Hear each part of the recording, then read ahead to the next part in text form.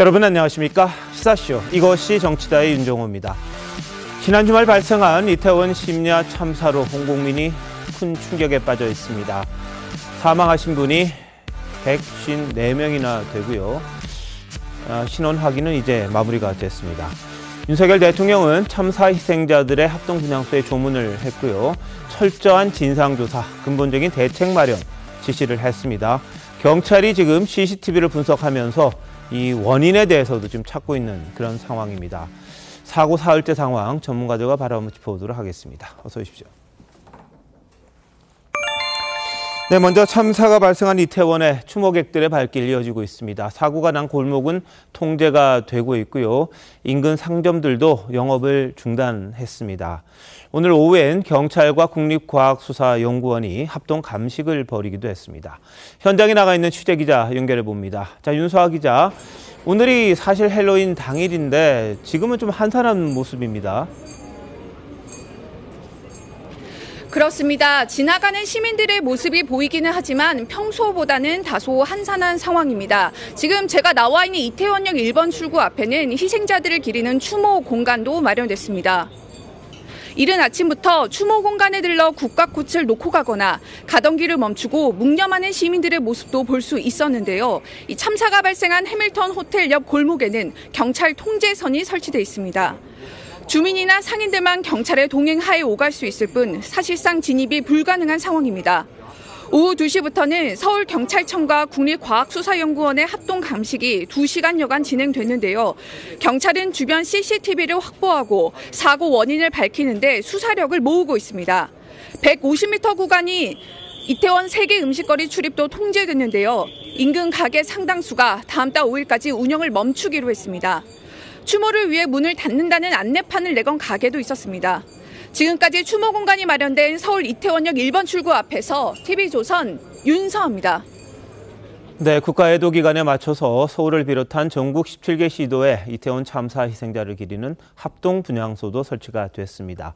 서울 광장에 마련된 분향소에는 정부 주요 인사들과 시민들의 발걸음 끊이지 않고 있습니다. 현장에 취재 기자 나가 있는데요. 안윤정 기자, 지금 상황 전해 주십시오.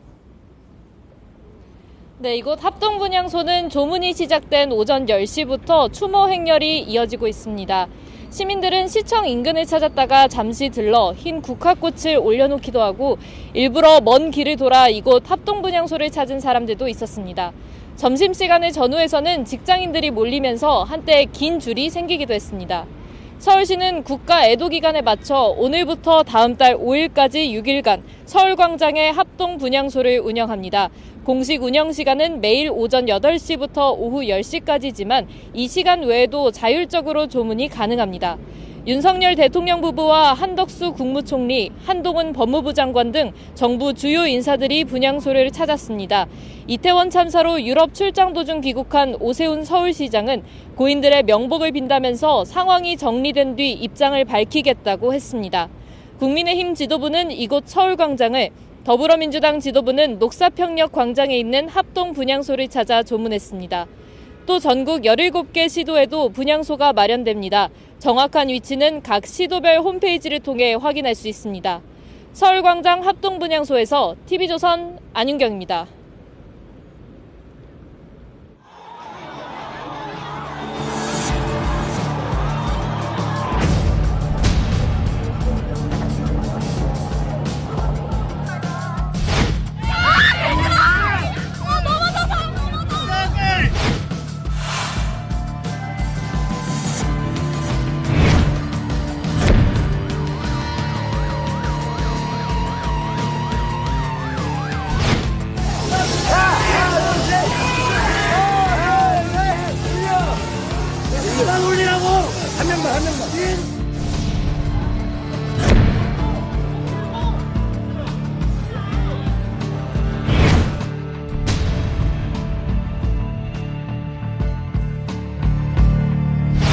국정의 최우선 순위를 사고의 수습과 후속 조치에 두겠습니다.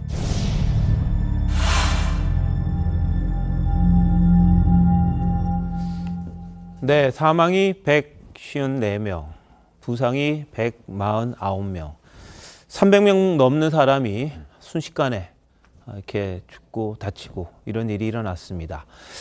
자, 박재성 숭실사이버대 수방방재학과 교수님 나오셨는데요. 네. 이 원인에 대해서는 뭐 여러 가지 이야기들이 너무 많습니다만 어, 뭐가 좀 부족했고 뭐가 이렇게 이분들을 이렇게 만든 겁니까? 네, 이태원이라고 하는 장소는 평상시에도 굉장히 많은 젊은이들이 찾는 장소입니다. 더군다나 이번에는 3년 만에 노마스크로 이제 할로윈 축제가 되다 보니까 어, 예상했던 것보다 굉장히 많은 인원이 이태원이라고 하는 한정된 지역에 모이게 됐던 것이고요. 더군다나 거기에 해밀턴 뒤쪽액 같은 경우는 어, 세계, 어, 이태원 세계 음식거리라고 해가지고 젊은이들이 굉장히 좋아하는 클럽이나 음식점이 굉장히 많이 있거든요. 그쪽으로 학, 어, 젊은이들이 집중이 됐고 거기에서도 굉장히 좁고 경사진 약 40m 되는 골목길로 어, 순식간에 사람들이 갑자기 몰리게 된 것입니다.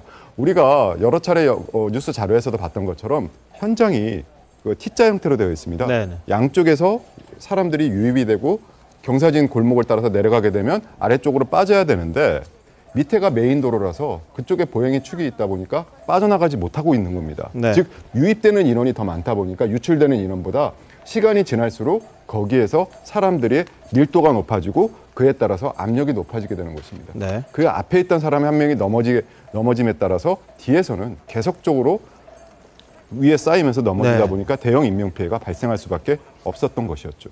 예. 자, 저희 뭐 그 상황들 뭐 많이 보셨을 텐데요. 저희들 한번 다시 정리를 좀 해보겠습니다. 지금 말씀하신 것처럼요. 이 뒷부분 해밀턴 호텔을 중심으로 해서 이 뒷골목에 이태원 세계 음식거리가 있습니다. 뭐 음식점도 있고 클럽도 있고 젊은이들이 굉장히 많이 찾는 그 뒷골목입니다. 근데 요 밑이 지하철역이 있거든요. 해밀턴 호텔 바로 앞에. 그 앞에서는 지하철역에서 내리면 또 좁은 길을 통해서 바로 이태원 세계 음식거리로 연결이 되니까 많은 인원들이 왔다 갔다 하는 그런 곳입니다. 근데 이게 내리막이에요. 내리막. 좀 보신 것처럼 뒤에 있는 세계 음식 문화거리에서 이태원역으로 내려오는 방향이 있고 또 지하철 내려서 1호, 1호 출구에서 다시 골목 쪽으로 올라가는 인원들이 늘 이렇게 마주치는 곳이 이 사고가 났던 그 좁은 골목입니다. 그러다 보니까 어 이 뭐라 그래야 될까? 이 폭은 3.2m. 기껏 사람들 6명 정도 서 있을 수 있는 옆으로 서면요. 그리고 길이는 40m.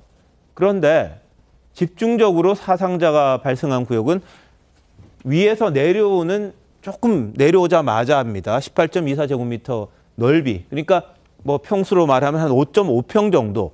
거기에서 집중적으로 사상자가 발생이 된 겁니다. 그러니까 300명 이상 지금 사상자가 난 거잖아요. 근데 이 좁은 구역에 5.5평이나 되는 이 5.5평밖에 안 되는 그 좁은 구역에서 그렇게 많은 분들이 어떻게 다칠 수 있을까? 또 사망할 수 있을까? 참 거기에 어떻게 그렇게 많은 사람이 들어갈 수 있을까? 궁금한 게 너무 많고 참 이상하기도 하고 참 너무나 안타까운 그런 상황인 거죠. 게다가 보셨습니다만 이 해밀턴 호텔이라고 이야기했잖아요.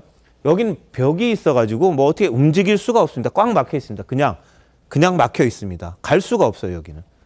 반대쪽에는 클럽이나 상가가 있는데 그쪽은 조금 유동성이 있습니다만 이것도 길이 워낙 좁다 보니까 어떻게 할 수 있는 여지가 없는 겁니다. 위에서 밀려고 밑에서 올라가면 중간에서 옴짝달싹 못하고 그러다 보니까 일부에서는 정말 서서 서서 숨을 못 쉬게 되는 그런 경우까지 있었다고 합니다. 자 그러다 보니까 이 좁은 골목에 그럼 왜 사람이 이렇게 몰렸는데 아무도 없고 통제도 못하고 도대체 뭘 했느냐 이런 책임론이 나올 수가 있을 것 같은데요. 자 최명 편장님 이건 어떻게 봐야 됩니까? 그러니까 우선 이 행 이게 뭐 저 좁은 골목에서 무슨 행사가 있었던 게 아닙니다. 네. 어 그러니까 그 할로윈 때문에 그 어찌 보면 자발적으로 모였던 이제 인파들이죠. 그 사람들이 이제 이태원 음식물 거리 쪽에서 내려오고 있었고, 그 다음에 이태원역에서 이제 지하철을 타고 내린 사람들은 그 이태원역 출구라는 거는 평상시에도 굉장히 많은 사람들이 오가는 곳이거든요. 네. 거기서 나온 사람들이 그 해밀턴 호텔 옆 골목을 올라가고 있었으니까 이게 내려오는 사람과 올라가는 사람이 겹치면서 사실 2주 전에만 해도 저기를 일방 통행으로 그 했던 곳이었거든요. 저기가. 예, 다른 행사 때죠? 축제 기간에. 예, 예. 그런데 이번에는 주최자가 없으니까 그런 그 설정도 안 돼 있습니다. 네. 그런데 올라가는 사람과 내려오는 사람이 부딪혔는데 그러다 보니까 중간에 있는 사람들은 이제 나가기가 어려웠던 거죠. 네. 그래서 아마 중간에서 아까 말씀하신 대로 그 5.5평 규모의 거기서 집중적인 사상자가 발생할 수밖에 없었던 것이다. 그런데 기본적으로는 저게 무슨 뭐 그 과거의 그 사고 사례들을 보면 뭐 입구나 출구나 뭐 이런 데에 이렇게 몰리면서 발생하는 경우 또는 뭐 네. 붕괴돼 가면서 발생하는 경우가 많았는데 이번은 그게 아니고 경사진 곳에서 그 위에서 내려오는 사람과 아래에서 올라가는 사람이 네. 이렇게 막 겹쳐가면서 이제 예. 중간에 있는 사람들이 사고를 당했다 이렇게 보입니다. 알겠습니다. 저희 그림 한번 다시 한번 보여드릴게요. 이 그림 한번 보시면 지금 이 골목 지금 보시는 그 골목이 어떻게 차 있었는지를 한번 사진으로 볼 수가 있습니다. 한번 보여주세요. 보면 지금 이 경사가 느껴지실 겁니다. 밑에서부터 위에 있는 사람들이 보이잖아요. 이 40m밖에 안 되는 골목인데 밑에서 위에까지가 거의 뭐 슬라이드 타듯이 보입니다. 그러니까 그만큼 이게 경사도가 있다는 거잖아요.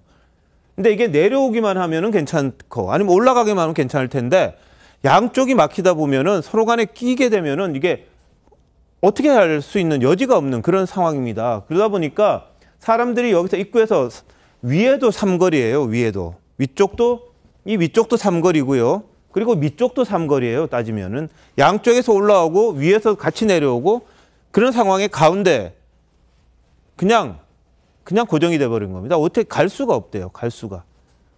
근데 이 골목에 이렇게 많은 사람들이 올 때 도대체 뭘 했느냐라는 책임론은 제기가 될 수밖에 없는데요. 이 공간에서 그러니까 이 김병민 교수 어떻게 보세요? 이 공간에 이 사람들이 갈 때 어떤 식으로 통제를 해야 될까요? 이걸? 오도가도 어, 움직일 수가 없는 상황이 돼버려서 어, 끔찍한 참사가 일어난 상황처럼 비춰질 수밖에 없습니다. 아, 이미 많이 접해 있는 것처럼 저 당시 사람들이 몰렸고 또 위에 있는 사람들 입장에서는 아래에서 어떤 일들이 벌어지는지가 명확하게 보이지 않았던 일들 때문에 계속 밀고 내려가는 힘들이 좀 작용했던 것 같고요. 더군다나 저 정도로 심각한 상황이면 아, 사람들의 통제를 바탕으로 질서 있게 좀 정리가 될 수 있는 긴급한 상황들이 정리가 돼야 되는데 잘 아시겠습니다만 할로윈 축제 때 워낙 큰 음악 소리들이 커져 나오다 보니까 저 어, 운집해 있고 정말 이 목숨이 오가게 되는 그 위급한 상황 속에서 사람들의 목소리보다 큰 음악 소리에서 아무것도 할 수 없었던 끔찍한 광경들이 펼쳐진 것이 아닌가 싶습니다. 제일 중요하고 어, 문제를 좀 바로잡을 수 있었던 건 저 정도로 사람들이 많이 밀집될 것이라면 특히나 아, 저 좁은 골목 속에서 저렇게 경사졌을 때 많은 사람들이 움직해서 사고가 날 수 있는 아, 미연의 그 상황들을 예측했을 때 네. 아, 조금 더 신속하게 움직일 수 있는 정부의 조치들에 대해서 아쉽게 생각하는 국민들 당연히 계실 네. 거라 생각하고요. 지금 여기에 대해서 주체자가 없는 행사였기 때문에 아, 뭔가 정부가 조금 손을 놓은 것은 아닌가 이런 얘기들까지 나옵니다만 모든 것들을 다 떠나서 사람의 인명이 150명이 넘게 사망한 곳이기 때문에 네. 어떤 방식으로든지 간에 정부, 지자체, 경찰을 비롯한 어, 무엇이 부족한 점이 있었는지 예. 하나하나 꼼꼼히 다시 한번 되짚어야 될 거라고 생각합니다. 자, 박재승 교수님. 네. 제가 아까 말씀드렸습니다만 이 정말 5.5평이라는 그 네. 공간에 거기서 300명이 다치고 죽은 거잖아요. 그게 이렇게 이게 가능한 일입니까? 전 이해가 안 되거든요. 그게 정말. 어, 저는 피난 행동을 전공하고 군중의 그 유동이나 이런 거를 이제 전공한 사람 말씀을 드리게 되면 5.5평에 300명이면 1제곱미터당 어, 약 16.5명 정도가 들어가 있는 건데 이건 좀 과도한 거고요. 예. 저희가 봤었을 때 보통 우리가 이제 군중의 흐름이라고 얘기를 하게 됩니다. 네. 우리가 이제 평상시에 자유보행을 합니다. 주변에 신체적인 접촉을 받지 않고 내가 가고자 하는 방향으로 자유롭게 갈 수가 있는데 네. 보통 1제곱미터당 5인 정도 사람이 되게 되면 군중 군집의 흐름이 형성이 됩니다. 내가 가고자 하는 그런 방향이 아니라, 아니라 군집에 쏠려서 이제 가게 되는 것이고 예. 보통 10인 정도가 되게 되면은 압사가 일어 이제 저게 아, 압박을 느끼게 됩니다. 압박이요. 그러니까 네. 좀 연약한 여성분들 같은 경우는 이제 비명을 지르게 되고요. 1제곱미터는 10인 정도가 어느 정도냐면요. 우리가 출근 시간 때 지하철 가장 붐비는 시간에 푸시맨이 밀었을 때 문 앞에서 사람들이 껴가지고 예, 예. 여성분들이나 어, 좀 나, 어, 제약자들 같은 경우 뭐 비명이 나오는 정도 아. 그 정도가 10인인데 제가 봤었을 때 보통 일반적으로 압사가 지, 어, 실신이나 질식이 발생하는 어, 밀도는요 12인에서 13인 정도가 되게 되는데 전체적으로 봤었을 때 제가 계산을 해봤었을 때 저 골목에 약 1,500명에서 1,700명 정도가 있었고 집중적으로 거기에 좀 더 많은 사람들이 있었다 보니까 그쪽에서 많은 사망자가 발생을 했는데 이렇게 군집의 흐름이 형성이 돼 한 번에 그 안에 들어가게 되면 내가 빠져나오고 싶어도 그쪽으로 못 가게 되고요. 예. 아까 김병민 의원이 말씀하셨던 것처럼 한 번 군집의 흐름이 되면 일종의 관성을 갖게 됩니다. 그래서 멈추고 싶어도 앞에서 사고가 나서 내가 멈춰야 되겠다 하더라도 예. 군집의 흐름은 하나의 덩어리가 되게 되어 있기 때문에 일정 시간 앞으로 밀려가 가지고 아. 앞에서 넘어진 사람 위쪽으로 계속 겹쳐서 예, 어, 압사가 일어나고 그게 피해 규모를 키웠던 것인데 앞서서 말씀하셨을 때 일방 통행으로 안 됐기 때문에 사고가 발생했다라고 하는데 저도 거기에 대해서는 부분적으로 동의를 합니다. 일방 통행이 됐었으면 흐름이 훨씬 더 예. 원활했겠죠. 예. 하지만 일방 통행이 됐었을 때 사고가 발생하지 않았을까라고 했을 때 어, 그렇지는 않습니다. 예.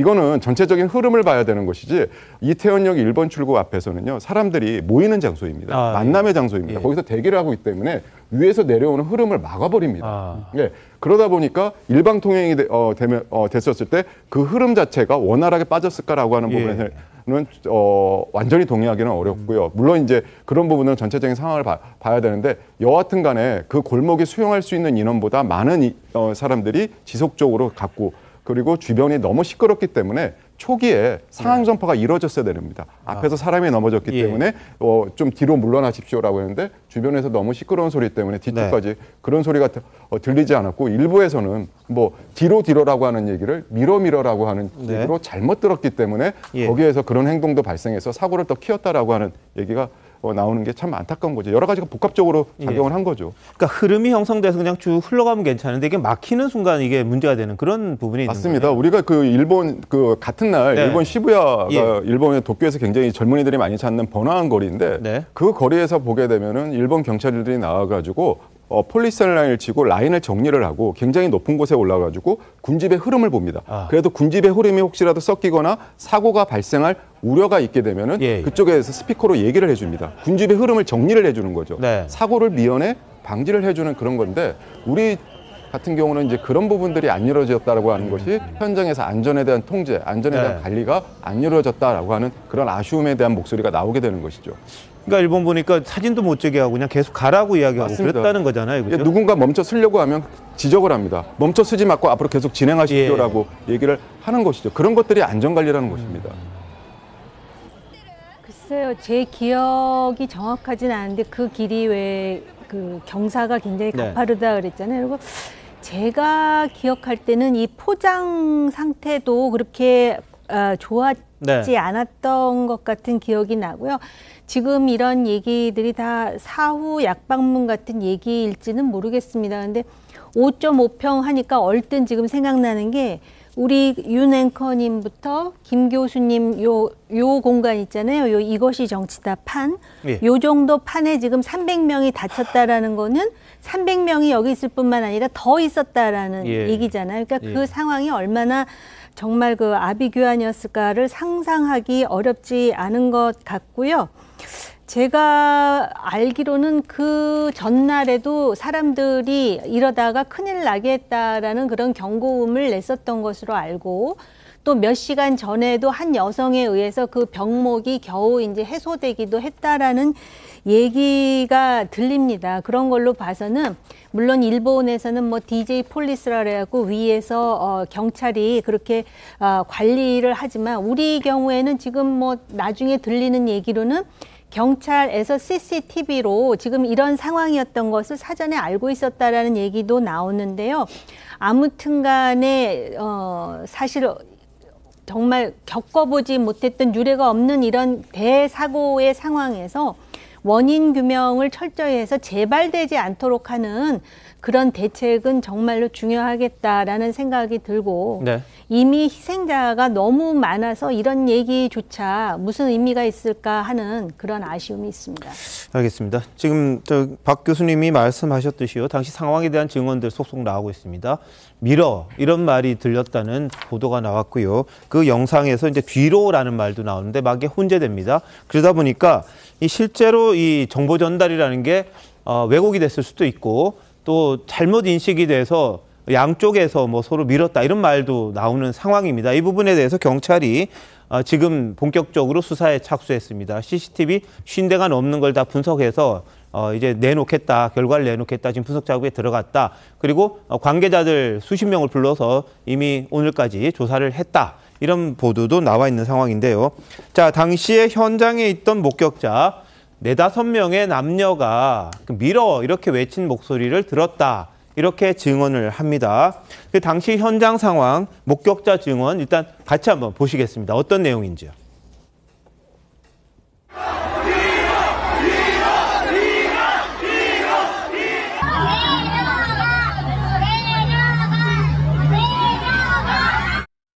밀어 밀어 소리치고 누군가 고의로 좀 밀었다 뭐 그런 소리를 직접 들으셨어요? 네, 실제로 들었습니다. 처음에는 이제 네다섯 명의 남성과 여성분들이 내려가 밀어 이런 말을 시작했거든요. 근데 이제 그 이후에는 사람들이 더 여러 명이 그 말을 따라하고 미는 압박이 더 강해져서 결국 이제 제 뒤에 있던 분까지 저를 밀게 된 이런 상황이었습니다. 뒤에서는 자신들이 이제 밀어 밀어 이렇게 외치고 있으니 그 노래 소리도 또 크고 앞쪽에 말하는 뒤로 뒤로를 못, 못 들었던 것 같습니다. 노래 소리가 그때도 아주 크게 들렸습니까? 그렇습니다. 대화가 힘든 그런 상황이었습니다. 비명 소리가 들리는데 사람들이 신나서 소리 지르는 줄 알고 더 밀었던 것 같습니다.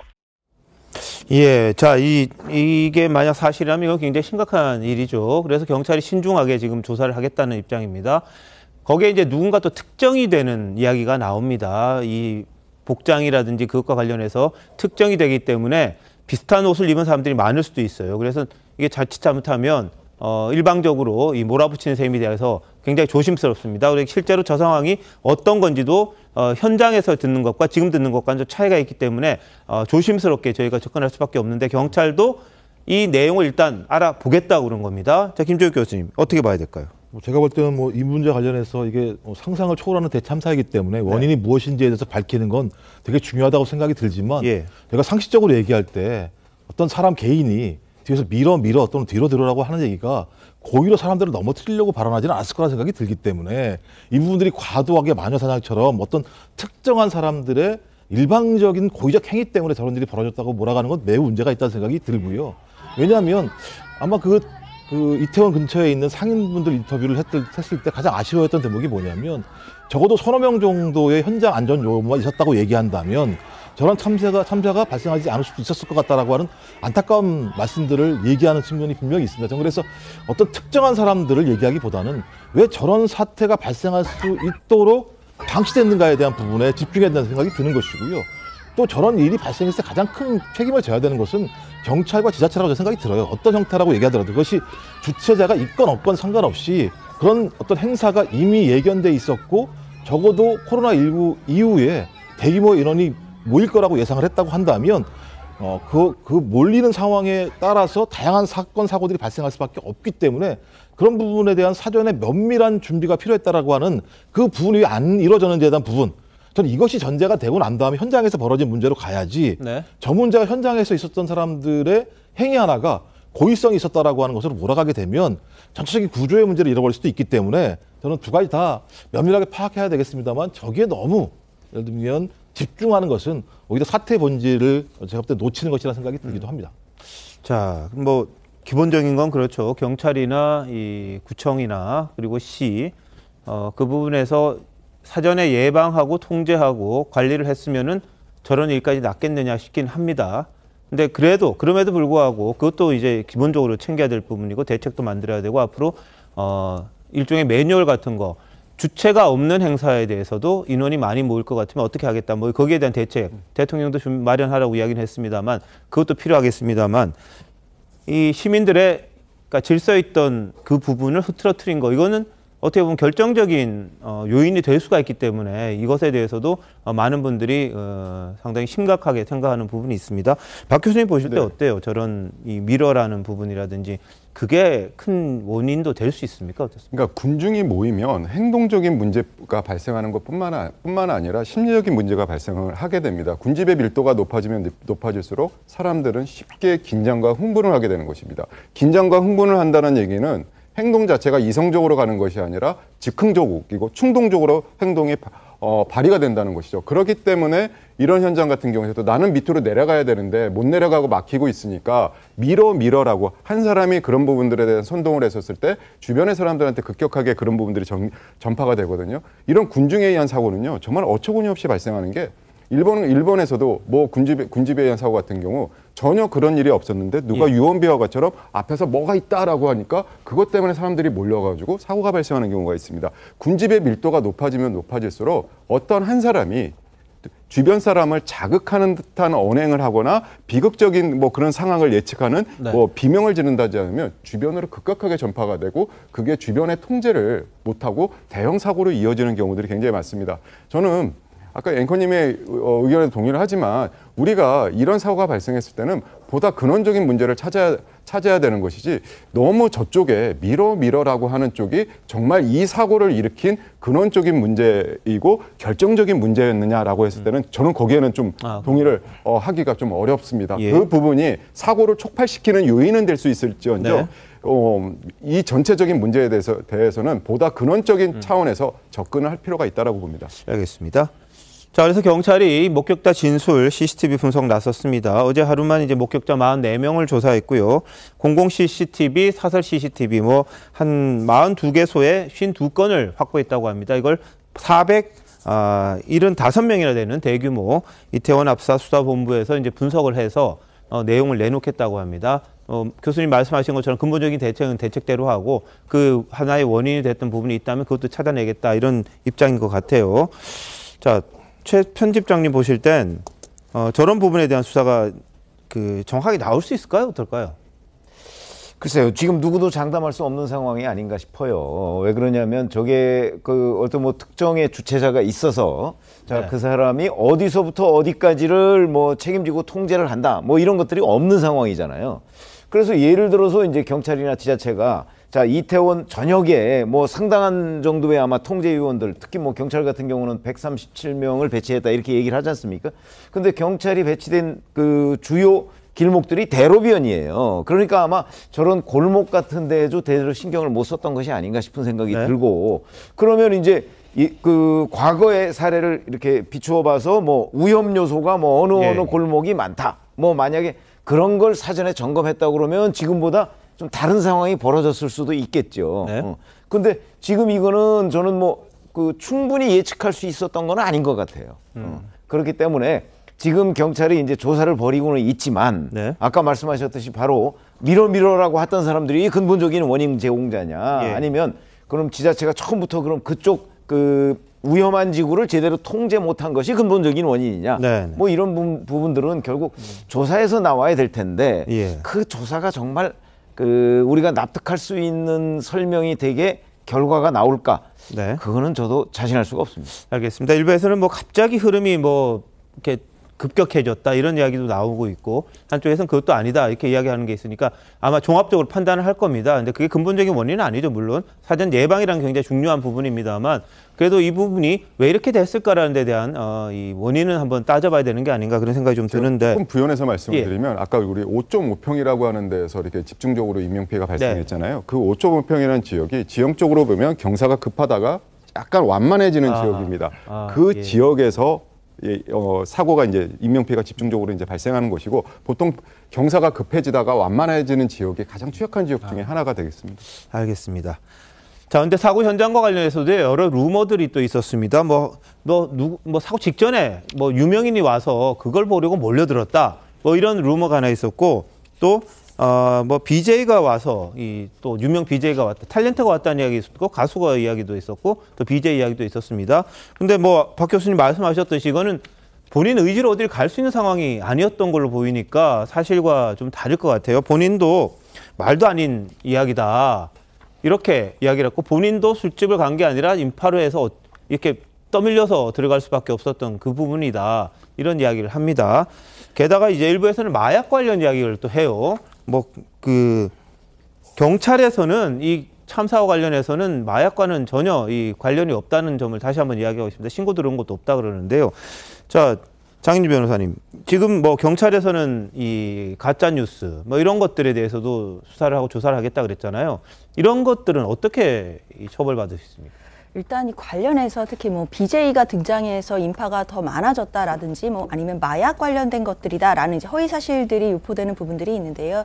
일단 관련해서 목격자의 진술이라든지 그 근처에 있으셨던 분들의 진술들은 경찰에서 수사 단계에서는 다 소중하게 쓸 것 같긴 합니다. 하지만 무분별하게 지금 SNS를 통해서 이 관련해서 허위 사실이라든지 또는 그 당시의 영상 등 특히 이제 고인이 되신 분들의 모습들을 모자이크 처리도 없이 얼굴을 알아볼 수 있는 상태에서 지금 그 영상들을 돌리는 행위들 같은 경우에는 경찰에서도 엄단하겠다라고 지금 경고를 한 상태입니다. 네. 특히나 그 시신들 그러니까 고인들의 명예를 훼손할 수 있는 상황이고 유족들 보시기에도 굉장히 불편하실 수 있고요. 유족들이 사자 명예훼손이라든지 이런 부분으로 고소를 하게 되면 분명히 처벌받을 수 있는 부분이기 때문에 이 관련돼서 허위사실 유포하는 것도 당연히 막아야겠지만 관련된 영상들 유포하시는 부분에 대해서도 자제하셔야겠습니다. 예. 장 한편 당시 현장에서 가까스로 탈출했다가 아, 했던 분들도 있습니다. 목격자들의 이야기들 한번 들어보시죠. 가족이 모두 그 골목에 사실상 갇혀 있으셨던 거잖아요. 네네. 어, 정말 공포 그 자체였고요. 정말 이러다가 정말 좀 큰일 나겠다는 생각이 좀 계속 들었습니다. 제가 서 있던 곳이 네. 그 사고가 났, 사고 났던 골목 방향으로 꺾이기 바로 전이었거든요. 탈출을 해야겠다고 본능적으로 이제 생각을 했는데 앞뒤로 막혀서 어떻게 할 수가 없더라고요. 음. 그래서 그 주점 울타리 안에 있던 그 광경을 보고 있던 외국인 한 분이 계셨는데 네. 그분한테도 아이를 좀 받아달라고 좀 외쳤고 네. 그분이 좀 아이를 받아준 다음에 네. 저희 부부도 이제 차차로 울타리를 넘어서 네. 그 주점을 들어간 다음에 네, 탈출했습니다. 어 진짜 정신적으로 충격이 좀 너무 컸습니다. 네 저희도 아. 네, 순간적으로 판단을 잘못했으면 어, 좀 그렇게 될 수 있을 거라는 생각 계속 드니까 어 그, 네, 그날 저녁은 좀 너무 힘들었습니다. 예, 저분 아마 골목 이 내리막 가기 전에 이 탈출을 한 걸로 보이는데 박 교수님 저런 경우에 주변에서 이 그러니까 안 되겠다 싶을 때는 어떻게 행동을 해야 됩니까? 거기 거기 있던 분들은요.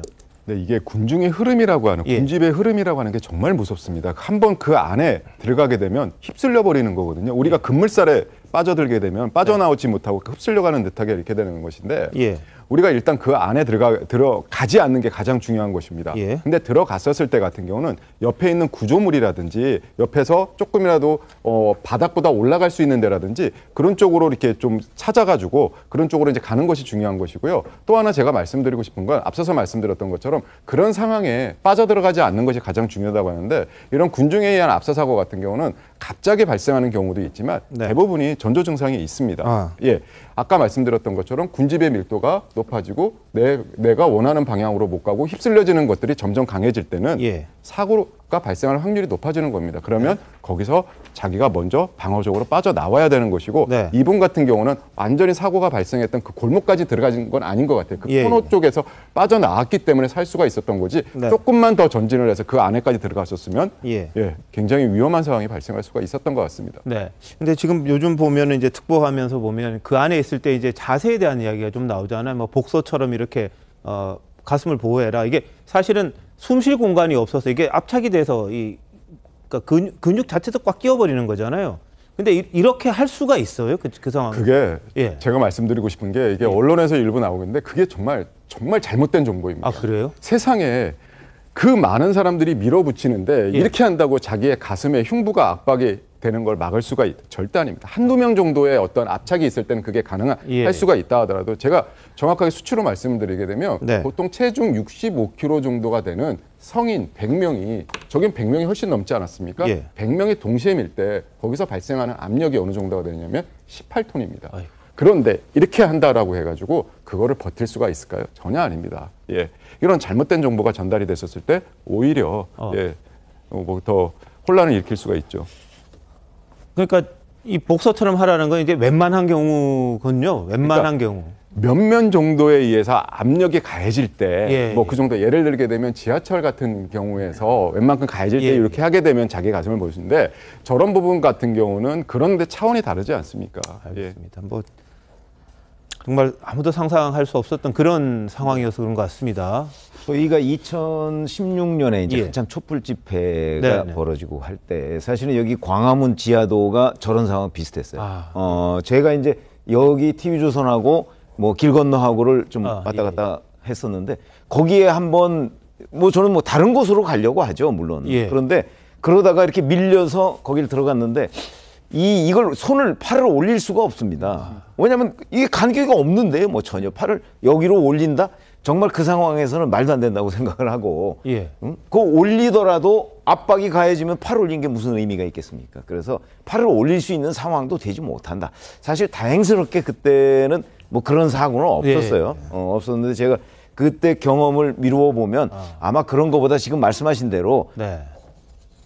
거기로 안 들어가는 게 최선인데 그게 또 이제 뭐, 밀려서 예, 들어갈 그게 수밖에 없는 상황이라면. 하여튼 뭐 계속해서 탈출을 위해서 노력하는 것 뭐 이런 것들이 어찌 보면 최선의 방법이 아니겠는가 싶은 생각이 듭니다. 주변에 잡을 수 있는 구조물이 있다든지 아니면은 조금이라도 들어가 있는 틈이 있다든지 그런 부분들이 있으면 어떻게 해서라도 그런 쪽으로 자기 예. 몸을 어, 어, 이렇게 숨겨야 되는 것입니다. 예, 실질적으로 이번에도 그렇게 해서 좀 자기가 살아났다 사람들도 일부 있고요. 네. 자, 뭐 자기 의지대로 움직일 수 없는 상황에서 최소한의 방어책도 무용지물이 됐던 정말 상상하기조차 힘든 사건이 실제로 일어난 게 이번에 이태원 참사로 보입니다. 근데 이 참사가 벌어지기 몇 시간 전에 똑같은 골목에서 비슷한 위기 상황도 있었다고 합니다. 그때는 한 여성의 통솔이 이 골목 통행을 가능하게 만들었다. 이런 증언이 나왔는데요. 당시 영상 한번 보실까요?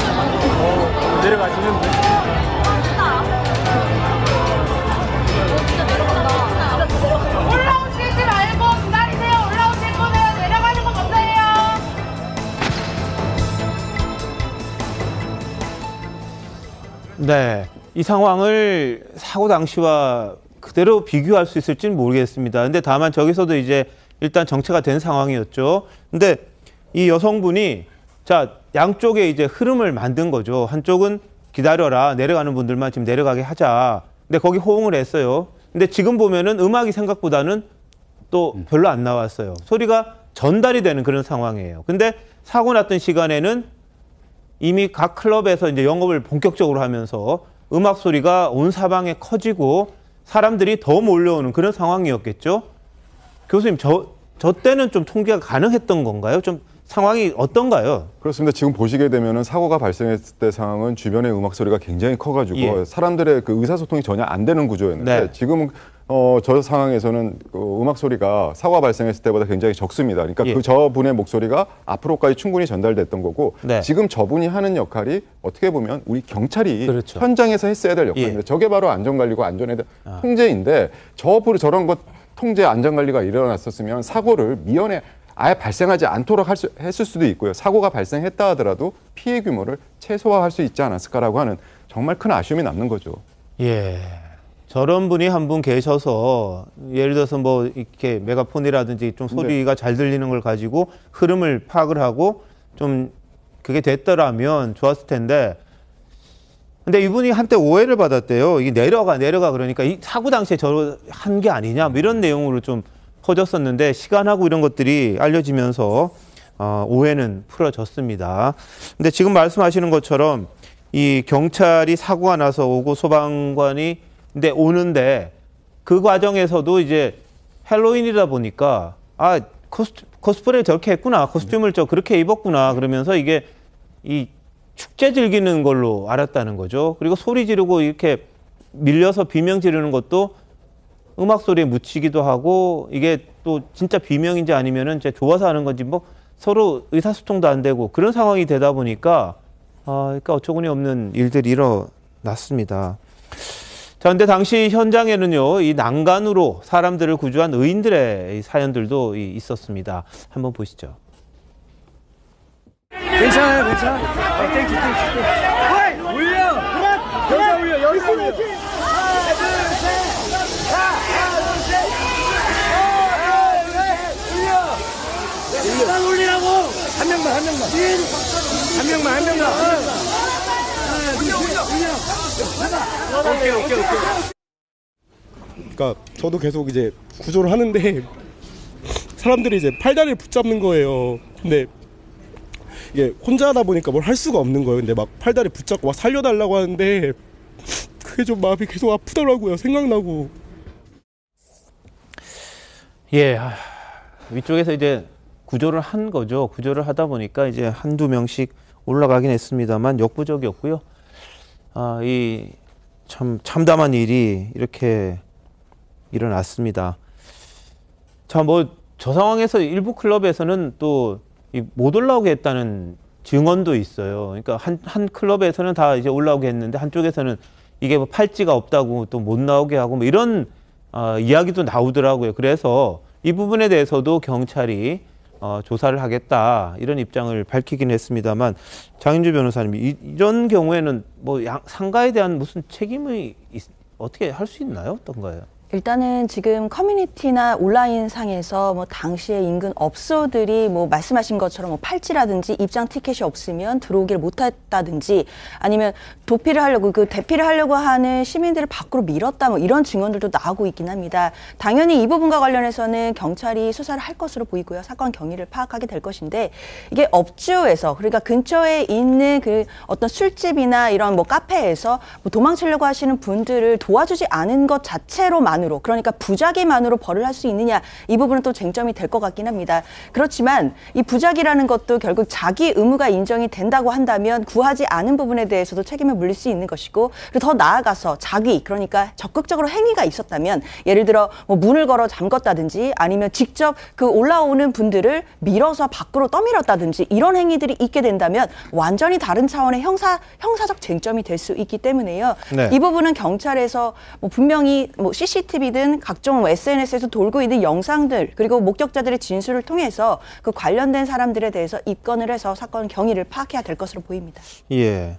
자 그리고 한 영상을 보면요, 이 현장 근처에서 이제 막 음악 틀고 또 춤추고 이런 모습이 또 나와 있어요. 그래서 야 이 사람들이 지금 죽어가는 상황에 이럴 수가 있느냐, 뭐 이런 이야기들이 있습니다만 이 상황 전파가 그 당시에는 제대로 안 돼서 그럴 수도 있다. 이런 또 반박도 있긴 있더라고요. 지금 보시는 장면인데 이게 막 사고가 났던 그런 장면이거든요. 근데 그 상황, 이 심각성을 모르고 아, 누가 조금 다쳤나 보다 이 정도 생각했던 것 아니냐 이런 이야기도 있습니다만 박 교수님 저거 저거 어떻게 봐야 되죠 정말 네 그렇습니다. 저기 있는 저 그 젊은이들 그 저기 있는 사람들이 많은 사람들이 술을 먹고 있는 상태입니다. 평상시보다 굉장히 up돼 있는 상태이고요 그리고 이제 앞서서 말씀드렸던 것처럼 주변에 굉장히 시끄러운 소리 그날이 하필이면 할로윈 데이이기 때문에 소방차가 출동하고 저런 상황이 일부러 코스프레 하는 거 아닌가라고 하는 얘기가 어, 오해를 하는 게 된 거고요. 저런 부분들이 우리나라만 있는 것이 아니라 예를 들게 되면 1993년도에 스웨덴 고텐버그에 있는 나이트클럽에서 화재가 발생을 했는데 아, 예. 63명인가가 사망자가 발생했습니다. 아, 그때 구조대원이 옆에서 심폐소생술을 하면서 어떤 사람을 구조를 하고 있는데 젊은 사람들이 자기 친구를 업고 와가지고 내 친구 먼저 해달라라고 얘기를 하는 하는데 보니까 사망한 상태였습니다. 사망했다라고 하니까 그 옆에 있던 친구들이 구조대원을 폭행을 해버렸습니다. 아. 그러니까 이런 그 술을 마시고 이런 어떤 그 예기치 못하는 그런 어떤 충동적인 상황에서는 예기치 못하는 일들이 저렇게 발생을 하고요. 현장에서도 구급차가 출동을 했었을 때 구급차 옆에서 아까 앵커님께서 말씀하셨죠. 예. 춤을 추는 사람들이 예. 있었다라고 예. 하는 것은 정말 어처구니없고 안타까운 일이죠. 예, 뭐 한 클럽에서는 이 상황에도 하, 말하기가 어렵네요. 압수한 오후 즐겁게 저런 것까지도 나왔다고 해요. 사건 이후에 이거는 정말 어떻게 봐야 될지 모르겠어요. 정우김 의원님 어떻게 어떻게 보십니까? 그러니까 이게 이제 이 사건의 배경이 교수님께서도 말씀하셨듯이 이게 지금 그 할로윈 파티 내지는 페스티벌 같은 장소이다 보니까 그 인간의 모든 그런 어떤 그 이면이 다 노출되는 그런 상황이 아닌가. 그러니까 극한 상황에서 다른 사람들을 구하기 위해서 열심히 CPR을 하는 그런 시민들도 많았지만 또 한쪽에서는 뭐 술을 마셨든지 아니면은 어떤 도덕의 결여이든지 어떤 그 인간의 본성이 아, 다양하게 표출되는 그런 상황이 아니었던가 이렇게 짐작이 되는데요. 아, 저거는 정말 인간으로서 해서는 안 될 그런 거 아닙니까? 정말 말하고 싶지도 않은데 아마 굳이 이해를 하자고 하여 설명을 하자면은 애초에 그런 사건이 일어났을 때 그 사건의 어떤 그 심각성에 대해서 미처 인지하지 못했기 때문에 저랬던 건가? 그렇게 생각하지 않고는 어떻게 네. 인간으로서 저런 예. 표현을 할 수 있을까? 심지어는 뭐 어떤 젊은 사람은 아 여기서는 더 이상 술 마실 그런 어, 재미가 안 나니까 홍대로 가자 뭐 이런 얘기를 한 걸 또 누가 듣고 올리기도 네. 하고 그랬는데요. 예. 저 이태원 자체가 참 그날 상황이 정말 그 필설로 형언하기 어려운 네. 그런 그 거의 지옥과 같은 상황이 아니었을까 음. 싶어요. 예. 근데 현장에는요, 의인들도 많았어요. 시민들이 그 CPR을 도와주고 두 손으로 걷어붙이고 집단적으로 하는 모습 보셨을 겁니다. 응급구조 나섰던 의료진의 목소리 한번 들어보시겠습니다. 이태원을 지나던 길에 사고 현장을 목격하셨다고 들었는데요. 당시 상황이 어땠는지 11시 10분쯤에 상황이 심각하다고 판단을 하여 직접 구조 활동으로 투입을 하였는데 그 뒤로 CPR을 제가 30분 동안 할 정도 할 때까지 구조대원 분들이 오시기까지는 조금 힘들었던 것 같고요. 의학적 지식이 없으신 일반 시민분들께서 네. 자발적으로 이렇게 도와주시러 오신 모습이 정말 너무 감사했습니다. CPR이 가능하신 분들 위주로 교대를 하면서 네. CPR을 하고 그렇지 않은 분들은 네. 환자의 체온을 올리기 위해서 본인의 외투를 덮어주던가 신발을 벗겨서 혈액순환을 도와주던가 하는 다른 많은 도움을 주셨습니다. 살리겠다는 마음 하나로 이렇게 진짜 뭐 일어나 일어나 살 수 있어 이런 식의 외치면서 진짜 너무 감사하게 생각을 하고 있고요. 그럼에도 불구하고 결국은 깨어나지 못하시고 그렇게 네. 보내드린 거에 대해서 네. 저뿐만 아니 많은 시민분들이 큰 아픔으로 남아있을 것 같습니다. 네. 자, 김병 교수님 그래도 이런 분들이 더 많죠? 많아야죠. 예, 뭐 전혀 예고되지 않았던 음, 상황이었음에도 주변에 있는 의료진들 그리고 또 CPR이 가능한 시민들이 있다면 너도 나도 나서서 심폐소생에 나섰던 것 같습니다. 뭐 대한민국 특히 남성이라면 이 민방이라든지 활동에서 CPR에 대한 기본적인 교육들은 받기 때문에 전문성이 없더라도 누구든지 나서서 한 명의 사람이라도 살리기 위한 일들을 했을 거라 보는데 네. 저때 말씀 주셨던 11시 10분에서 11시 40분이 제일 힘들었다고 얘기를 하지 않습니까?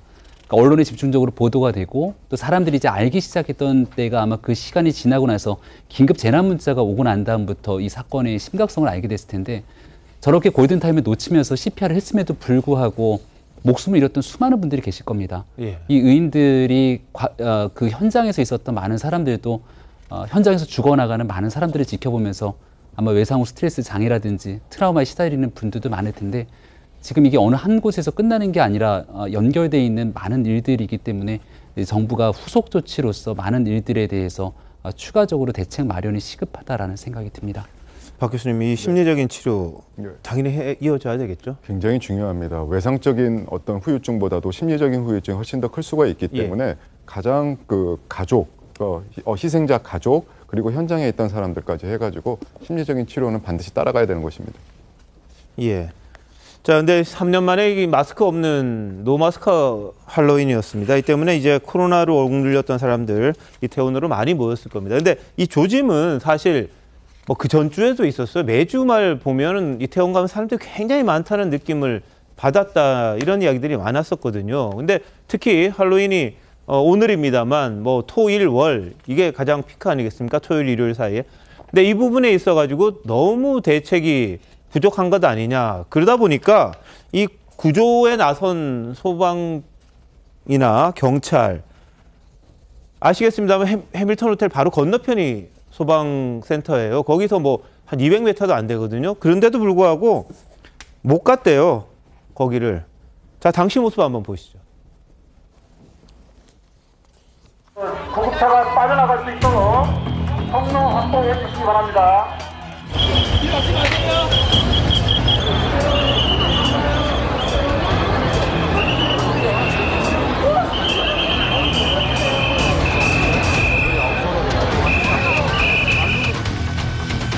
이게 엄청 어려웠습니다. 근데 경찰이 길을 비키라고 계속 확성기를 통해서 교통 정리를 하던데 그래도 잘 안 됐나요? 네, 그래도 그것도 코스프레인 줄 알고 할로윈이다 보니까 그것도 잘 안 믿겨졌습니다, 사람들이. 네, 할로윈의 특성상 소방관 차림하고 왔구나. 아, 이거 뭐 그런 식으로 생각했다는 이야기죠. 경찰관도 마찬가지고 그러다 보니까 사람들이 굳이 뭐 비킬 필요 없는 것 아니냐. 애들이 또 어, 이 온 사람들이 그냥 장난치는 거다. 뭐 이런 식의 생각을 또 했다는 거거든요. 이게 참 엎친 데 덮친 격으로 구조하러 가야 되는데 길을 비켜야지 가죠. 근데 교수님 4분이면 위험하다면서요. 이 네, 심정지가 오면요. 심정지 환자의 골든타임이 4분이라고 합니다. 아. 4분 이내에 CPR이 이루어져야지만 사망을 막을 수가 있고 부상의 후유증을 최소화할 수가 있게 되는 것입니다. 자 그런데 여성에 대한 부분이 또 이야기 나오더라고요. 네. 그러니까 이 아무래도 좀 체구가 작은 분들이 더 이 위험성이 더 큰 건가요, 그거는요? 아, 그럼요. 여성 같은 경우는 남자들보다 이렇게 근력이 약하지 않습니까? 그리고 신체적으로도 남자들보다 우리나라 남, 남성, 여성 평균 키를 보면 10cm 정도가 작습니다. 그러니까 남자들 사이에 꼈었을 때 훨씬 더 호흡 곤란이 쉽게 올 수가 있고요. 그런 어떤 압력에 견디는 힘이 남자, 남성들보다 작을 수밖에 없습니다. 그래서 도쿄도 연구진이 연구해, 어, 연구한 바에 따르게 되면요. 여성 같은 경우 자기 신체 몸무게의 약 60% 정도만 자기 체중의 60% 정말 자기 신체에 실려도 호흡곤란이 올 수가 있다라고 합니다. 아. 그러다 보니까 이번에 같은 경우는 남성보다 여성의 인명 어, 사망자가 두 배 정도 많이 발생한 게 아닌가 생각이 됩니다. 네, 윤석열 대통령은 오늘 김건희 여사와 함께 서울 광장에 마련된 합동 분향소를 찾았습니다. 한번 보시죠.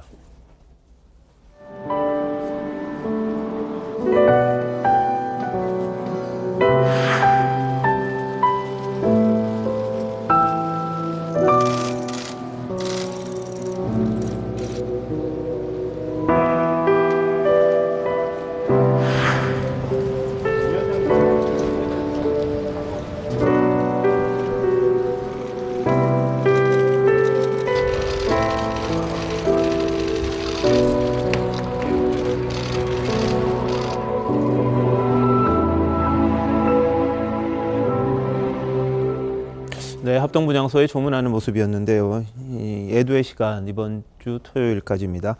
자, 근데 윤석열 대통령의 이번 참사에 대한 대응 어떻게 보셨어요, 김병민 교수님요? 네.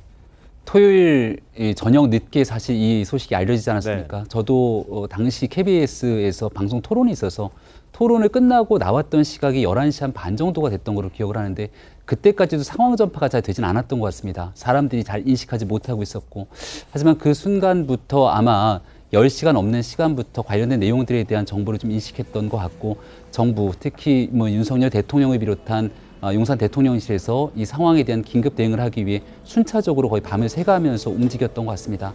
앞서 조금 전에 얘기했던 그 응급차 등이 신속하게 움직여야 되는데 이미 도로가 꽉 막혀 있는 상태에서 움직이지 못했기 때문에 11시 아, 반에서 12시 정도 어, 되는 상황 속에 구급차가 빠르게 이동할 수 있도록 각종 차량 통제에 대한 긴급 지시를 내리는가 하면 네. 이후로도 많은 음, 활동들을 용산 대통령실도 나섰지만 애석하게도 수많은 국민들의 목숨을 앗아갔던 일이기 때문에 예. 여기에 대해서 정부가 어떤 애들을 잘했는가 못했는가에 대해서 평가하고 판단하는 건 아, 구태여 필요치 않은 일이 아닌가 지금 현재로선 네. 그렇게 생각을 합니다. 모든 일들 속에서 국민의 생명과 안전을 지키게 되는 일에 무한 책임은 다 정부가 지게 되는 예. 것 아니겠습니까? 예. 하지만 적어도 그 순간 상황 상황에 맞춰서 지금도 이제 최선을 다해서 노력하고 있는 많은 사람들이 있는 만큼 장례 그리고 부상자에 대한 치료 그 이후에 나타나게 되는 유족에 대한 지원 문제 등에 네. 이르기까지 아, 모든 것 하나 조금의 부족함이 없도록 마지막 순간까지 최선을 다해야 된다 이렇게 생각하고 있습니다. 예. 자, 윤 대통령 어제 오전에 대국민 담화도 발표했고요. 현장도 방문을 했습니다. 현장 방문 모습 한번 보시죠. 아이 거기서부터 5.7m 내에서 사상자가 다 나와. 여기서는 내려가는 골목이 저기인가요? 네, 맞습니다. 뭐 5.7m? 5.7m 내에서 그 안에서 그럼 이 폭은 얼마나 돼요? 3.2m입니다. 네. 오늘은 대통령실에서는요, 국민의 생명과 안전을 책임진 대통령으로서 말할 수 없는 슬픔과 책임감을 느낀다. 이렇게 재차 밝혔습니다. 밝혔습니다. 이재명 부대변인의 브리핑 한번 보시죠. 윤 대통령은 사고로 돌아가신 분들과 유가족들을 생각하면 국민의 생명과 안전을 책임진 대통령으로서 말할 수 없는 슬픔과 책임감을 느낀다고 말했습니다. 특히 꽃다운 나이에 많은 젊은이들이 미처 꿈을 펼쳐보지도 못하고 비극을 당해 너무나 비통하다는 심경을 재차 밝혔습니다. 아울러 윤 대통령은 이 자리에서 심폐소생술을 비롯해 구급과 후송을 위해 애써주신 시민들, 의료진, 소방요원, 경찰관 등 위급한 상황에서도 귀감이 되어준 이태원의 영웅들께 고마움을 전하면서 슬픔을 함께 나눠주신 모든 국민께 감사의 마음을 표했습니다.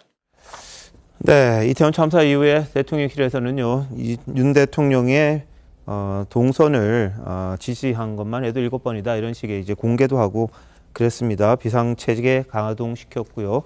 윤 대통령도 어, 거의 밤을 샌 걸로 지금 알려져 있는데 자 장인주 변호사 평가는 어떠세요?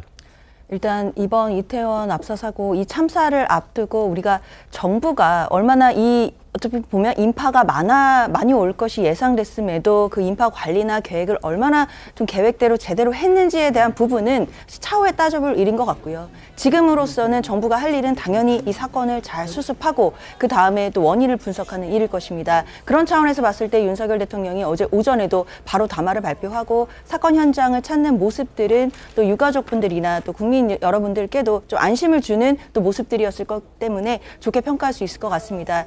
특히 특히 이제 관련해서 수습 방안으로 뭐 공무원들을 일대일 매칭하겠다고 한다든지 그리고 지금 특별 재난 지역으로 용산구를 선포를 해서 관련된 지원금들을 좀 선별해서 또 지원할 것으로 또 보이기도 하고요. 그러니까 이렇게 또 사건이 수습이 되고 나면 이제 결국 남는 것은 왜 이런 사고가 일어났는지에 네. 대한 원인 분석일 겁니다. 그 예. 원인 분석을 하고 앞으로 이런 사고가 다시는 일어나지 않도록 재발 방지를 예. 위한 대책을 정부에서 잘 내놔야 될 것 같습니다. 알겠습니다. 윤 대통령도 이제 추가적으로 대책 마련을 지시를 한 부분이 있습니다. 그것도 같이 이야기를 해볼 텐데요. 자, 근데 용산구청하고 경찰이 참사 사흘 전이었습니다. 이태원 헬로윈 참사와 관련해서 이제 사자 간담회를 열었답니다.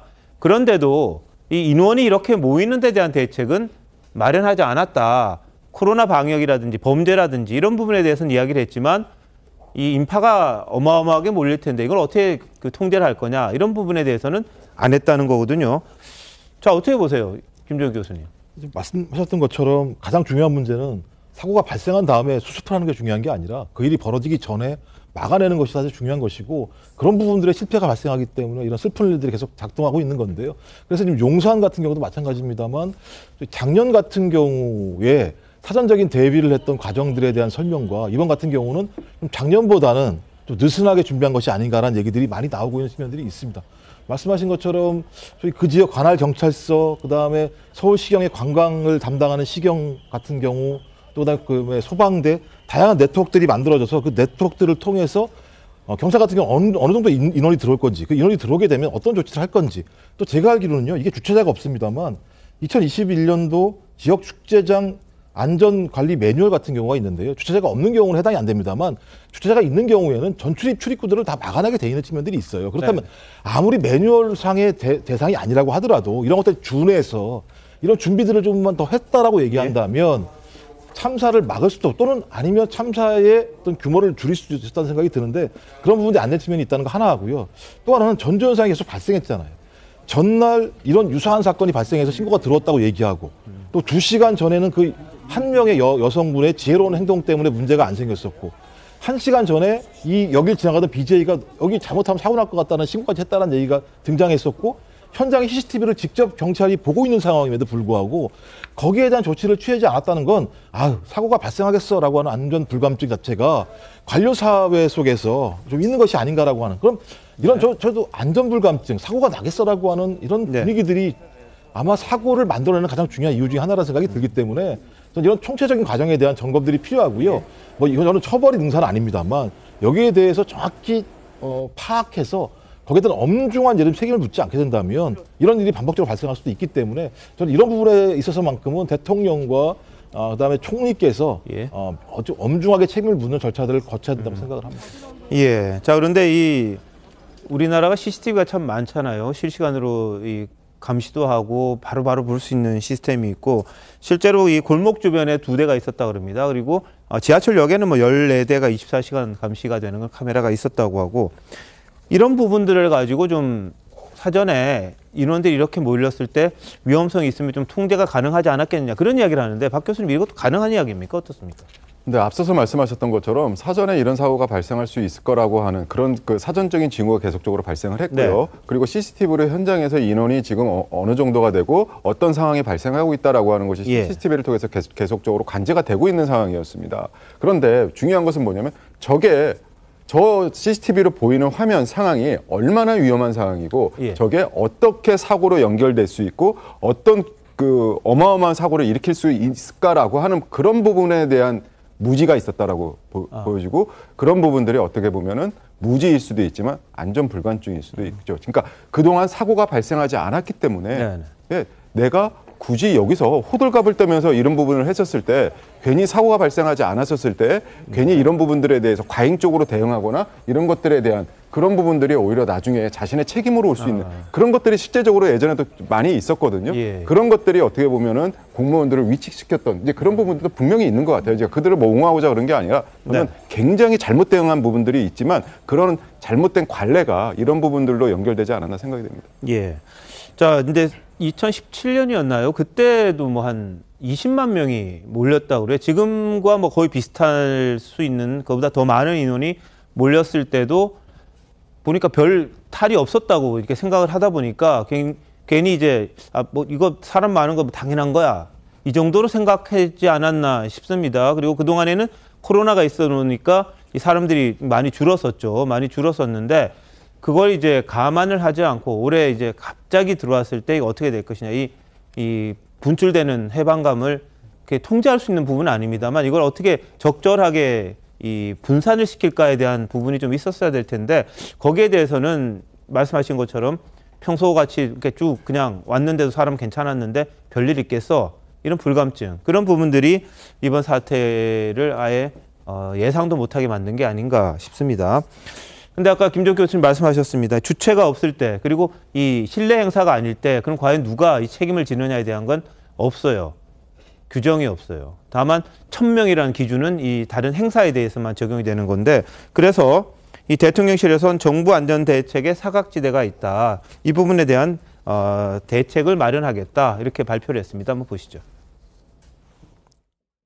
특히 윤 대통령은 무엇보다 사고 원인에 대한 철저한 진상조사와 투명한 공개, 그리고 이를 토대로 유사 사고가 재발하지 않도록 근본적인 대책을 마련하는 것이 중요하다면서 이번 사고와 같이 주체자가 없는 자발적 집단 행사에, 행사에도 적용할 수 있는 인파사고 예방 안전 관리 시스템을 마련해야 한다고 강조했습니다. 지자체의 판단으로 최소한의 안전 조치를 위한 차량이나 인원 통제를 경찰에 협조 요청할 수 있고 경찰 역시 안전사고가 생길 수 있다고 판단하면 긴급 통제 조치를 실시하는 내용 등을 앞으로 논의하게 될 것으로 보입니다.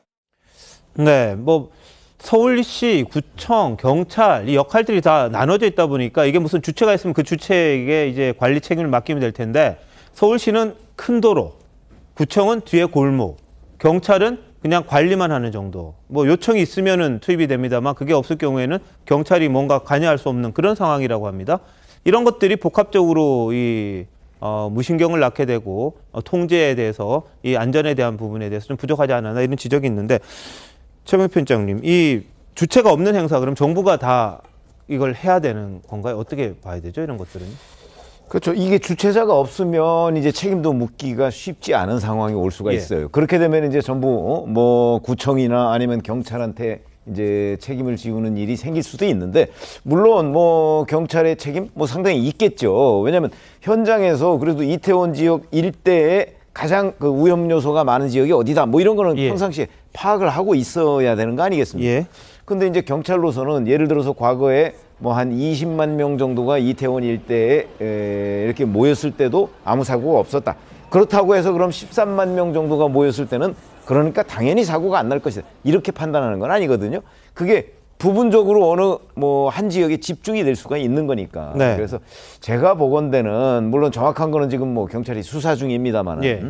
왜저 한 곳에 저렇게 집중적으로 사람이 모였는가 하는 부분 네. 그리고 그거를 경찰이 어떻게 놓쳤는가 하는 부분 뭐 이런 부분에 관해서 정확하게 뭐 사고를 막지는 못했습니다만은 예. 정확하게 원인 분석을 해서 앞으로도 유사한 사고가 뭐 이태원 일대든 아니면 다른 곳이든 벌어지지 않도록 그 하는 것이 굉장히 중요한 네. 대책이 아닌가 이런 생각이 듭니다. 자, 그러니까 2주 전에만 해도 지구촌 대축제라는 게 있어요. 지구촌 축제. 거기에 100만 명 넘는 사람들이 몰렸대요. 근데 이건 구청하고 서울시가 후원하는 행사니까 주체가 있는 거죠, 결국은. 그래서 경찰이 통제도 해주고 뭐 안전에도 신경을 쓰다 보니까 큰 문제가 없이 끝났다는 거거든요. 근데 할로윈이나 뭐 크리스마스 같은 때 그건 주체라는 게 없잖아요. 주체가 없다 보니까 시민들이 자발적으로 나와서 골목을 메우는 상황에서 이걸 어떻게 해라 말아라 이거 이게 안 된다는 그런 입장이더라고요. 근데 시, 현 그러니까 법적으로 뭐 이렇게 규정상 따져보면 그렇지만 사람이 뭐 10만 명씩 몰리고 이러면은 그래도 신경을 좀 써야 되는 게 기본 아닌가 싶은데 이게 안 되는 것 같아요. 그 지금 말씀을 들어보니까 보통 이제 어떤 행사 있지 않습니까? 또 시위도 그렇고 주체가 있을 때는 동원 인력이 굉장히 많아집니다. 근데 주체가 없는 행사가 이렇게 사람이 많이 자율적으로 모이는 경우는 별로 없었을 거예요. 그래서 그런 관행 때문에 아까 교수님 말씀하셨듯이 경찰이나 관계 당국이 고의는 아니었겠지만 무지의 상황에서 소홀히 했던 게 아닌가 이런 생각이 드는데요. 이제 그 앞으로는 이런 자발적인 행사에도 사람이 그 상당히 몰린다는 예상을 하게 되면은 좀 더 철저한 그런 어떤 치안이라든지 질서 유지를 하겠죠. 근데 사실은 그런 교훈으로 생각하기에는 너무나 많은 사람이 희생되었다라는 것에 대해서 지금도 아, 정말 그 믿어지지도 않고 굉장히 안타까운 그런 어, 생각이 드는데요. 네. 근데 아까 말씀하셨듯이 이미 사 어, 관계 당국의 사인 회의가 있었고요. 그리고 CCTV를 보면은 경험 측상으로도 여기서 어떤 일이 벌어질 거를 상상 못했다. 그 이전에 어쨌든 주체가 있는 행사에서 사람이 많이 몰리기 때문에 일방 통행도 하고 그랬는데 이거는 주체가 없기 때문에 이런 부분에 대해서는 예. 어, 분명히 그 책임에 대해서 그 소재를 확인하는 절차가 네. 필요하리라. 그래야 이게 재발 방지로 이어지지 않을까 예. 이런 생각이 듭니다. 그 지금 뭐 저 대통령실에서 이제 매뉴얼을 말씀하시는데요. 예. 저는 이건 접근을 좀 달리했으면 좋겠어요. 음. 저는 매뉴얼 만능주의는 안 된다고 봐요. 매뉴얼로 안 되니까 문제가 발생하는 거거든요. 실제적으로는요. 그렇다면 매뉴얼로 안 돼 있는 부분이 발생했을 때 어떻게 조치할지에 대한 근본적인 대책들을 만드는 게 맞지 하나하나 사안마다 다 매뉴얼을 만들어서 저거 다 대응할 수 있겠습니까라고 하는 측면이 있어서 좀 방향을 바꿔서 매뉴얼 만능주의가 아니라 저런 사태가 발생했을 때 어떻게 인지하는지 예를 들면 과거에 위기관리센터라는 것이 있었고 지금 정보통신법이 통과되면서 휴대폰 같은 경우 위축적의 그 가능성이 훨씬 더 높아졌습니다. 그러면 많이 집중됐을 때 위기관리센터에서 그런 것들을 사전에 인지해서 경찰에게 예를 들면 내용들을 전다, 전파한다거나 좀 다양한 방식들을 했으면 좋겠다는 생각이 드는 것이고요. 또 하나는 계속 이건 안전불감증 얘기인데요. 그러니까 행정안전부 장관이 이런 말씀을 하시는 거예요. 그래서 그 전과 비교했을 때 특별히 우려할 정도로 많은 인파가 모였던 것은 아니다라는 말씀을 하시는 배경은 여기에 있는 거거든요. 전 그래서 이런 안전 불감증과 새롭게 변화하고 있는 상황에 맞게 좀 더 다양한 방식들로 이것들을 대처를 해야 되는데 어쨌든 그런 부분과 관련해서 아직까지 미흡한 측면이 분명히 있다. 그래서 대통령실이 좀 좀더좀 근원적인 측면과 관련해서 접근을 해주셨으면 좋겠다 이런 주문을 드리고 싶습니다. 예. 아마 이 매뉴얼에 대한 걸로 모든 것들을 해결하려고 했다기보다는 주체자가 없는 상황에서 벌어졌던 일들이 나타났기 때문에 여기에 준하는 행동 수칙에 대한 얘기들을 한 것 같습니다. 우리가 재난민 안전관리 기본법에 따르면 이런 사회 재난이 발생하기 전 재난에 대한 예방 대비가 굉장히 중요합니다. 근데 이런 일들에 대한 예방 대비 그리고 현장에서 이런 일들이 발생하게 된다면 사실 지하철에서 이태원역에 하차하게 되는 사람의 숫자라든지 이런 내용들을 지켜보면서 얼마든지 기본적인 수칙들을 마련할 수 있는 것이거든요. 재난과의 책임 기관의 장들이 해야 되는 역할들이 있게 될 것인데 지금 그 역할들이 이곳저곳에 혼재가 돼 있을 겁니다. 이와 같은 상황 속에서는 특히나 용산구청 같은 지자체에 훨씬 더 많은 예. 권한을 부여하든가 네. 이런 일들에 대한 방식 조정들이 반드시 뒤따라야 되는 상태이기 때문에 이야기를 한 것이고 누군가에 대한 책임 회피라든지 그런 일들로 이어지게 된 것은 아닐 거라는 네. 생각이 듭니다. 네, 저도 매뉴얼 만능주의는 안 된다고 생각합니다. 예. 하지만 매뉴얼은 반드시 있어야 되는데 정말 중요한 건 뭐냐면 매뉴얼이 실효성이 있어야 된다는 것입니다. 예를 들게 되면 군집이 얼마 모였을 때 어떻게 한다고 했다. 그럼 군집이 얼마가 얼마만의 만한 인원 규모가 군집인가라고 하는 것이 명확해져야 되는 것이고요. 예. 그리고 그 인원 자체도 행사 장소에 따라 달라지게 되는 것입니다. 예를, 예를 들어서 1만 명이다 그러면 올림픽 공원에서 1만 명하고 네네. 동네 공원에서 1만 명은 다른 것입니다. 예. 그러니까 그런 어떤 공간적인 행사적인 위험 특성을 고려한 정말 실효적인 예. 매뉴얼이 준비가 되고 음. 구동이 돼야 된다는 것이죠. 알겠습니다. 자, 근데 이천 참사와 관련된 영상 그리고 허위 사실들이 온라인을 통해서 유포가 되면서 이게 좀 논란이 됩니다. 한번 보시죠. 일부에서는 인터넷, SNS 등을 통해 사상자들을 혐오하는 발언이나 허위 조작 정보, 자극적인 사고 장면을 공유하고 있습니다. 이러한 행동은 절대 자제해 주시길 간곡히 부탁드립니다. 현장에 계셨을 사실 많은 인파들이 그 당시 상황을 여과 없이 보셨었거든요. 예. 그리고 직후부터 굉장히 많은 영상들이 돌아다녔는데 SNS를 통해서 이게 이제 각 자꾸 어, 생각이 난다거나 가슴에 두근거림이 생긴다거나 혹은 불면 같은 증상이 나타나면 반드시 주변에 신경정신과의 치료, 정신건강의학과의 어, 치료를 바, 상담을 받으셨으면 좋겠습니다. 네. 자, 뭐 초, 사건 초 초반에는 이게 뭔지 모르니까 사람들이 막 날랐어요. 사실 아, 돌아가신 분들의 모습도 막 그냥 여과 없이 나오고 해서 이런 것들이 어, 지금까지 도는 건 문제가 있는 것 같아요. 사람들이 트라우마가 생길 수 있고 이 보는 분들도 이 시청하시는 분들도 굉장히 충격을 계속해서 받기 때문에 그런 점들은 좀 조심해야 된다는 지적들이 지금 계속 나오고 있는 그런 상황입니다.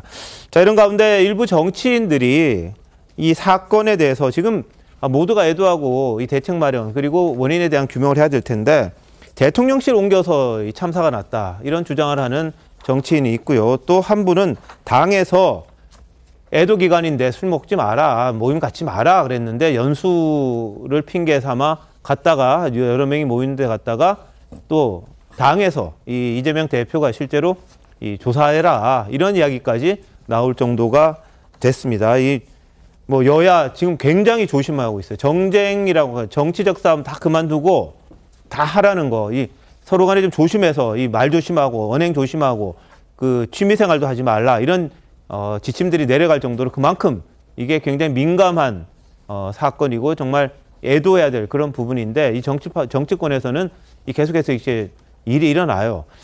최 편장 이건 왜, 왜 그런 겁니까?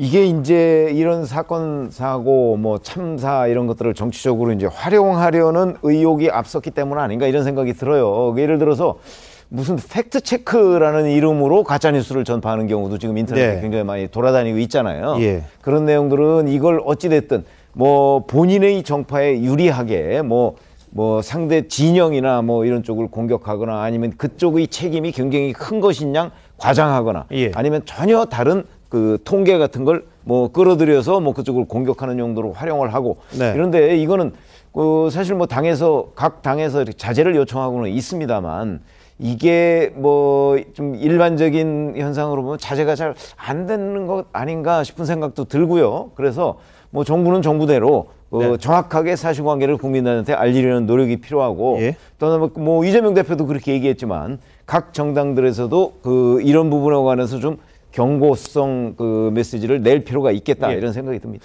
예. 자, 이상민 행정안전부 장관의 말도 지금 논란이 됐는데 오늘 유감을 표명하긴 했습니다. 자, 우려할 인파 모였던 것 아니고 경찰 미리 배치해서 해결될 문제는 아니었다. 이런 발언이었어요. 근데 본인은 이게 이제 아, 뭐라 그럴까요? 경찰이 할 수 있는 역할이 있고 또 이게 선동적 정치적 주장해서는 안 된다는 그런 취지로 이야기한 거다. 사실관계 좀 따져보고 하자. 이런 어, 취지로 이야기했다고 합니다만 이것도 좀 부적절하다. 여당 내에서도 그런 이야기가 나옵니다.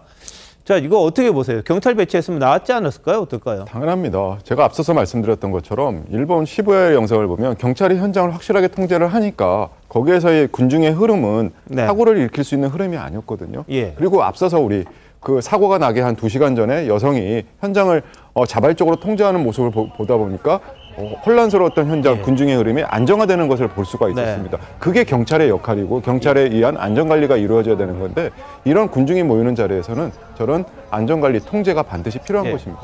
자, 김범 교수, 이 장관은 좀 사과해야 될 것 같지 않습니까? 네, 그 정도는 뭐 안될 것 같아요. 유감 표명이 좀 많이 늦었다고 생각을 합니다. 앞서 이제 말씀을 드렸던 것처럼 이런 정말 국민들이 상상할 수 없는 참사가 일어나게 된 배경에는 여러 가지 원인들이 있을 겁니다.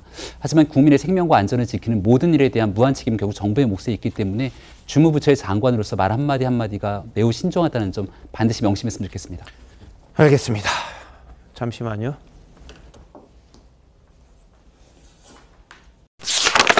시다쇼 이것이 정치다 여기까지입니다. 저희는 내일 찾아뵙겠습니다. 고맙습니다.